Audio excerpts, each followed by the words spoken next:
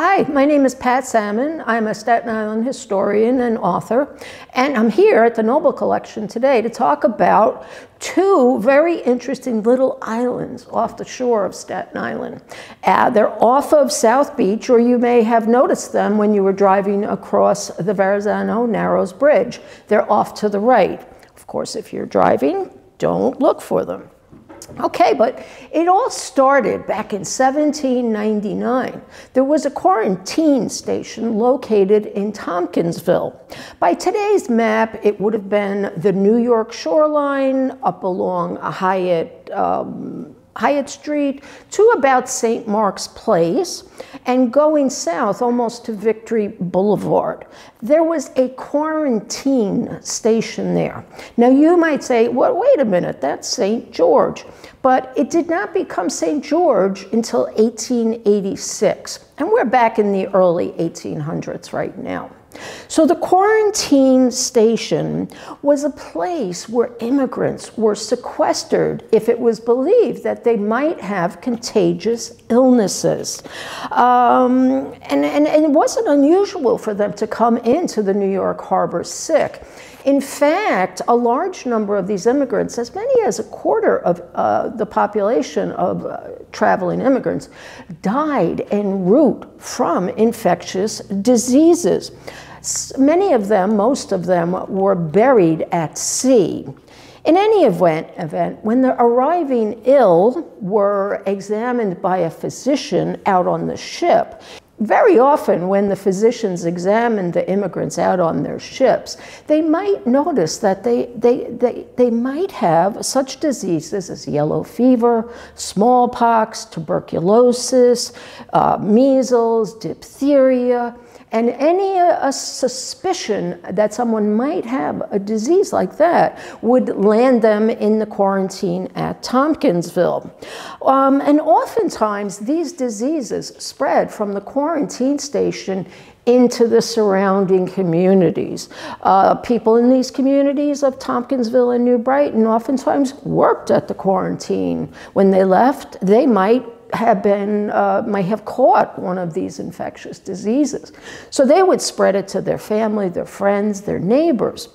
Very often, too, the immigrants who were being held at the quarantine station would so jump the walls and they would escape into the community. I mean, who, after paying uh, money to cross the Atlantic Ocean and who, someone who got stopped at a quarantine station wouldn't want to escape because they always had the fear that they were going to be sent back. Well, the diseases kept spreading into the local community, so the local residents were not one bit happy. For instance, in 1848, Remember, this is the time of the, of the Great Hunger in Ireland. We're seeing thousands and thousands of Irishmen coming to the New World to escape famine that is plaguing the country. Well, in 1848, 180 men, women, and children were afflicted with contagious illnesses in Tompkinsville and New Brighton, and they placed the blame squarely on the quarantine station. Um, and as I said, they were not happy about it. I mean, who would be? They petitioned the state of New York to move the quarantine station. So the state uh, re requested that the people of Coney Island take the quarantine station. Of course, the people of Coney Island said no. They requested that the people in Sandy Hook, New Jersey accept the quarantine station. Of course, the people at Sandy Hook said no. So they decided eventually that they would set up a quarantine station at what we now call Prince's Bay. And um, the people in Prince's Bay were not at all happy about it. In fact, they were so unhappy with that situation that they decided to set what had been built at this quarantine, quarantine station in Princess Bay on fire. And this was in um, 1857. They weren't happy with the results of the fire, so they set it on fire once again. And they destroyed everything except maybe a pier and a privy or something like that, so they couldn't put the quarantine station there. Well, the people in Tompkinsville decided that they too, they would set the quarantine station on fire. So on September 1st, 1858, the people of Tompkinsville attacked the, the, the, quarantine station. Supposedly, there were only a couple of uh, sick people in the quarantine station at this time.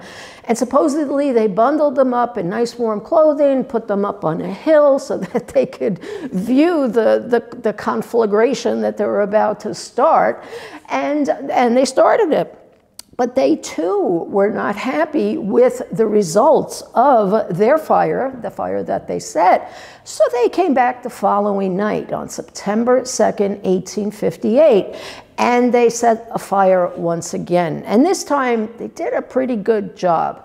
The state tried to um, keep the sick immigrants in, in the what remained at the site, but it really wasn't working out very well. So they set up floating hospital ships right, right by the, um, the quarantine station. In fact, uh, to give you a great idea uh, of where the quarantine station was, if you're familiar with the National Lighthouse Museum, that's where they would dock the ships that were coming into the quarantine station.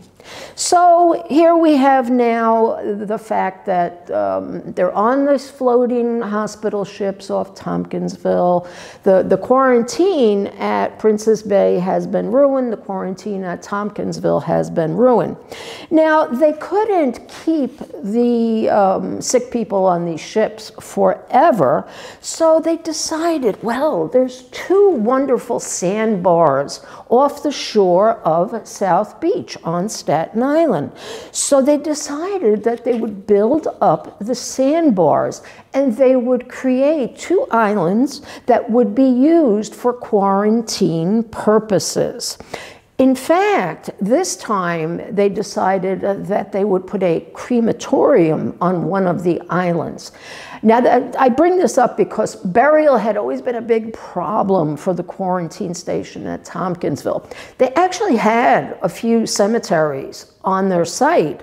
In fact, if you recall, um, the site where the new Supreme Court building is located. If you remember, some archaeologists did a study there and they found the remains of immigrants from the time of the Irish hunger and from the time of German immigration in the 1850s.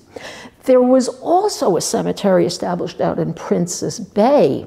And in fact, there were reports going up to the 1960s, that after a big nor'easter, bones were surfacing on the shoreline at what is now Wolf's Pond Park. But I'm off my subject, as always, talking about cemeteries. In any event, they established a crematorium on what would be called Swinburne Island. And for those individuals who did not want their families cremated, there was a cemetery also on the island. Because as you can imagine, um, uh, dying people was a big problem for the quarantine, what to do with the bodies. So that actually solved a big mystery because no, we thought there was a cemetery on Swinburne Island, and we finally have gotten it down pat and gotten proof that there was a cemetery on Swinburne Island. In any event, it was finally completed, the sandbars, the buildings, the, the piers, and, and all, everything that they needed for the quarantine station was finally installed by, we believe, 1873. So sick patients began arriving at Swinburne Island in that year. When it first opened, Swinburne Island was referred to as Dick's or Hospital Island. Sometimes it was called the West Bank. Eventually, it would be named after a Dr. John Swinburne, who had made dramatic discoveries in healing broken bones and fixing dislocated joints. He made these discoveries during the Civil War, so he was a very important man. Eventually, he became a New York State health officer. So Swinburne, while he was a health officer, was also credited with uh, preventing a plague from spreading to around New York City. Hoffman Island, meanwhile, was to be used for people who were suspected of having infectious diseases. And if you were put on, on Hoffman Island, you, uh, if your disease developed, you were quickly switched over to Swinburne Island, where the confirmed sick were, were kept. It really must have been a very tedious process, a very fearful process for anybody to be on either of these islands in terms of uh, the sickness and, and, catching these illnesses and these diseases. Um, I, I, can't imagine what the fear that they must have felt. Okay, so by 1879, the buildings on Hoffman Island are, can hold up to 608 patients. The most common disease at this time is yellow fever.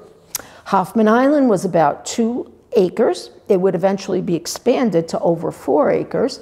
And by 1892, 850 sick people could be accommodated. There were four brick buildings on the little island, and two served as dormitories. Hoffman Island is named after John T. Hoffman. Hoffman was a New York City mayor from 1866 to 1869. He went on to serve as governor of the state of New York from 1869 to 1872. Um, we see the quarantine islands and the quarantine that was at Tompkinsville getting a tremendous amount of press coverage it, all throughout the 1800s, mainly because most people thought that place was a nuisance. Well, Frank Leslie's illustrated newspaper in 1889 did a series of eight drawings about Hoffman and Swinburne Islands, and it told us a lot about the islands. It showed us the crematorium, showed us the dormitories, it showed us where the passengers were being ferried back and forth from the islands, and, and they showed us also how the islands were scoured scoured to kill these diseases and these viruses and any other illnesses that might be around. Um, there was a Dr. William M. Smith who was the health officer around 1889, and his feeling was that every trace of disease had to be removed from the island. And in order to accomplish this, he declared that the islands had to all be asphalt. There could be no dirt, there could be no grass, nothing like that. It was easier to clean asphalt than it was to clean dirt or gardens or anything like that. By 1892, the quarantine boarding station is located on the Clifton shoreline. All vessels coming into the New York harbor were required to stop opposite the station for inspection. Inspection of passengers took place during the daylight so that the physician could see their closely and clearly their eyes, their throats, their skin to see if there was any any chance that they might be infected with a disease. When an epidemic was occurring, infected vessels were expected to stop two miles south of Swinburne Island. They weren't even supposed to come near Swinburne, Hoffman, or Staten Island. When a contagious disease was found, the steamship company that owned the ship was notified, as was the United States Secretary of State, right up to Washington we'd go with this, so that he could instruct consuls in the United States so that they could inform the necessary inspectors in their own countries. In other words, they were trying to stop the disease where it was in the world before it came to the United States. Health officers in 1892 were watching for the spread of cholera. It had been found in Russia. It soon spread to Finland and France. On August 26th, Health Officer Jenkins ordered that passengers arriving in New York from infected ports and lo or localities. Those ships that had steerage passengers, they were the passengers who were generally kept in the bottom of the ship who, who paid the least for their passage, they were to be su subjected to quarantine detention for three to five days. This is whether they were suspected of having a disease or not. This was done just to keep them on the ship and away from everybody else. Jenkins ordered that all passengers eventually should be brought to Hoffman Island where they would each be given a bath.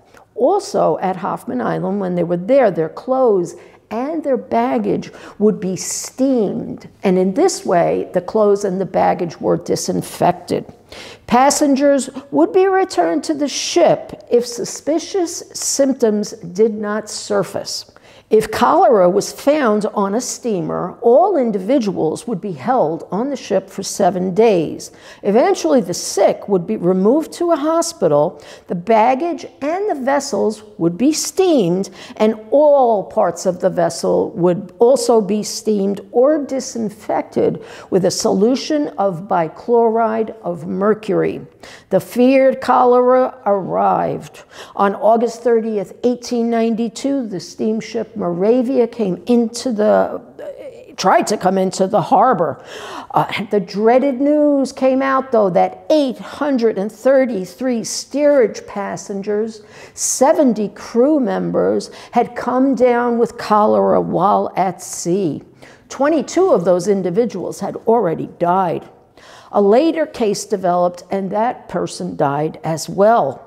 The Moravia was ordered to anchor in the lower quarantine, which is also the lower New York harbor, and it was forced to stay there until September 23rd. That day, the passengers were released.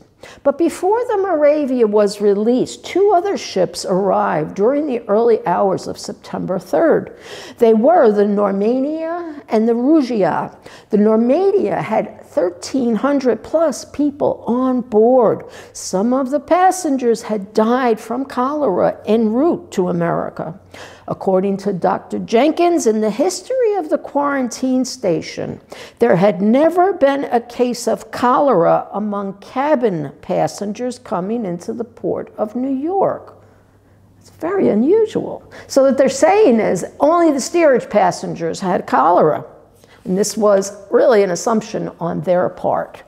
The cabin passengers in this case were sequestered on the Normania, and they were not happy about it. They demanded that they be removed to a hotel on Fire Island. So they boarded a ship called the Cepheus that took them to Fire Island, but they were very surprised to find an armed mob on the shoreline ready to fight with them and send them back on the boat. Nobody left the Cepheus. They all stayed on board that ship just opposite Fire Island until things settled down. Hoffman Island, meanwhile, at this time was so crowded, some of the well passengers who needed quarantine or observation were actually sent to Camp Low at Sandy Hook, New Jersey. Meanwhile, a passenger on the Rugia named Moreno came down with and died from the cholera. According to sources, his body was, quote, quickly wrapped in a sheet soaked in solution of bichloride of mercury, and he was buried in quicklime. That was in order to kill the cholera. The morning of September 7th arrived, and a ship called the Wyoming arrived with 808 passengers. It came from Liverpool, a port that actually had had no cases of cholera. All were well, but two days later it was discovered that there were two dead children and one person sick with cholera. There were also three passengers who were suspected of having cholera. Another ship, the Scandia, arrived from Hamburg on September 9th. The doctor who boarded boarded the ship for inspection was told that there had been 56 cases of cholera and that 32 of these people had died during passage. Upon its arrival, the ship still had two dead bodies, 12 people suspected of having cholera, and nine people who were sick with cholera. There was also an epidemic of measles on the ship. Two more ships arrived. The passengers on that ship, many of them were sick with cholera, and again there was another epidemic of measles on the ship. In 1892, it was decided that individuals who did not have evidence of being inoculated or vaccinated, a word we're very familiar with, who are not vaccinated against smallpox and who perhaps have been exposed to smallpox would be detained at the quarantine for vaccination. And they would be detained until the vaccine, vaccine took effect. I'm sure they weren't happy about that. And I'm sure they weren't happy either in December 1902 when a ship called the Saxon Prince arrived with bubonic plague. Two cooks and a steward were stricken after the ship had stopped in South Africa. Dr. Doty, the new health officer, was confident that the disease would not spread, though, as officials had prepared for its arrival after reports had been received from South Africa. In 1912, 71.5% of the immigrants coming to the U.S. would pass through the Narrows. The Great War, World War I, would affect the quarantine islands as the number of immigrants dramatically decreased, while the number of incoming freighters from friendly nations increased. So the health officers went from uh, looking at the, the immigrants to really looking at the crews of ships that were coming in from friendly nations. Um, of course, uh, the boats of the belligerents were otherwise occupied in 1915. And in addition, many of the German ships that were in the United States at the time war broke out were held in the United States. There were many ships off Manhattan that were held during World War I. Prior to um, World War I, the majority of immigrants coming to the United States were from Italy. But when Italy became involved on the, on the, uh, on the side of the Germans in World War II, we see an increase of, of Greek and Balkan immigrants coming into the United States.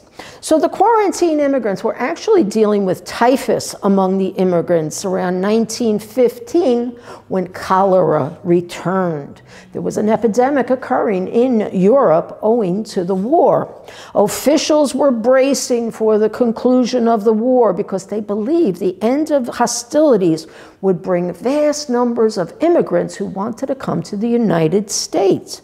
And it was believed that the ordeals of war would have greatly affected them. I mean, there was, you know, starvation, they were um, unhealthy from having wars going, and the, the mental anxiety of being exposed to, to warfare, they realized would take a toll on many of the immigrants.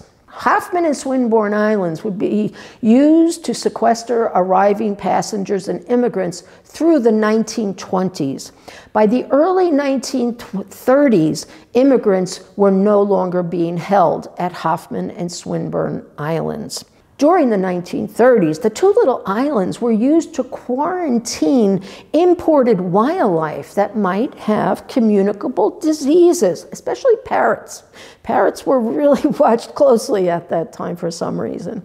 In 1937, Hoffman Island was inhabited by 800 inner city youth for fun, for picnics, um, but it didn't last long. It had been encouraged by Mayor Fiorello LaGuardia, but when Parks Commissioner uh, Robert Moses found out that the kids were you know, on these little islands. He said that they were absolutely undesirable for such a program for youngsters. He said having them there created tenement-like conditions.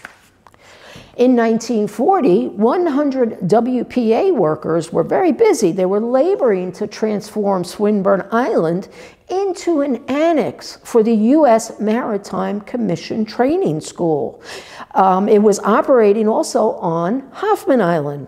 They were eliminating taking down five buildings while three buildings were being renovated.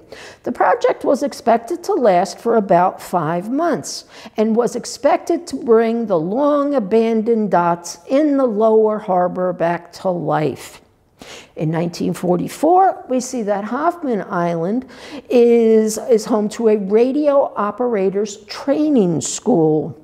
But two years later, the school started to fade out. They were valued at $5 million, the islands, but really nobody wanted them. In 1948, um, Swinburne and Hoffman Islands were referred to as former training bases for merchant seamen that had been deserted by the Public Buildings Administration, owing to the cost of their upkeep. Hoffman Island and Swinburne Island were considered to be white elephants. Both were called ghostly islands, unwanted by any government agency. The Navy, the Coast Guard, the U.S. Public Health Service all declined offers to utilize the two islands owing to the cost of transporting goods, personnel, and equipment. Even into the early 1950s, they still sat unused, although somebody floated a plan to like join them together with landfill and create one big island that would serve as an airport. That didn't work out, obviously. We finally find out that a man by the name of Bernard Baruch had purchased the islands and given them to the New York City Department of Parks and Recreation. He had purchased them for only $10,000. New York City real estate for $10,000. In 1965, Mayor Wagner announced that the new park that was going to be on the islands would be named after Baruch. Um, all kinds of ideas were floated for these islands, but nothing ever came to be. Finally, a man by the name of Howard Cleaves, who had been long associated with the Staten Island Museum and was a very well-known ornithologist, visited the island. And in that year, in 1964, he found a colony of breeding herring gulls. He counted 105 nests on the island. He determined that this activity had been going on for a long time because the islands had been abandoned. It soon spread the colony to Hoffman Island. Cleaves also let everybody know that in 1958 he had gone over to the islands and he found the, the nests of greater black-backed gulls. And uh, the, the, the, gulls, they kept reproducing on the island. In fact, two scientists were over there in 1973, and they found 10 nesting pair of greater black-backed gulls, and herring gulls were also continuing to nest on the islands. May 22nd, 1978, Bill and Norma Siebenheller, naturalists from the Staten Island Museum and also a Staten Island Advance columnists, arrive at Hoffman Island with a naturalist from Gateway National Recreation Area. By this time, the islands have been put into Gateway National Recreation Area. You know, the, the entity that includes um, Great Kills Park and Sandy Hook and such. They found all kinds of nests from the herring gulls and the great black-backed gulls, and they were very excited about it. But one thing that they were really excited about was the fact that they found all these little balls all over the island. They found all kinds of tennis balls, rubber balls, wiffle balls, Spalding balls, all over the island. The balls had to be all larger than three inches across. And they couldn't find, when they went to research it, what the heck were these balls doing on the island? And they finally realized that the gulls must have thought they were eggs from other species of birds. They had carried them and they were dropping them on the asphalts of the island to break them open because gulls do do that. And, and then they eat the contents. But they had a rude surprise when the balls hit the islands and they didn't break open because they were man-made. And of course, they didn't carry anything like that. In 2011, we see another Staten Island Advance article from Catherine Carson and informs us that there are not only herring gulls and blackback gulls, nesting on the islands. But now, get this there's great egrets, there's snowy egrets, there's yellow crowned night herons, black crowned night herons, little blue heron, and glossy ibis all over the island. And four years later, the most exciting news of all in 2015, the New York City Police Department were out the islands for some reason and they found seals basking on the rocks of the island. Seals were back in the New York harbor. It was great news. Now, it, it's worth pointing out, I think, that when you go back to 1799, the start of the um, quarantine and the quarantine stations, including Hoffman and Swinburne Islands, you start thinking about the infectious diseases, the care of those who were afflicted with these diseases, the medicines that were discovered, the techniques that were discovered for treating people, and how they learned how to sanitize the islands and the ships and the people. And it really correlates to the COVID epidemic that we've been experiencing in these last few years. And I'd like to just put it out there how brave these people were that they would get on that weren't put there you know because they were suspected of being sick or because they were sick. But these people like like the nurses and the doctors today who go into you know take care of covid patients and who have not um, who do it even though they might catch covid. So I, I think there's a lot that can be said about the quarantine station both the you know in the past and how it correlates to today. So thanks very much, and I encourage you all to go to noblemaritime.org backslash now, N-O-W, where you'll see a variety of videos about Staten Island history, about maritime activities, all kinds of interesting things for you to watch. Take care.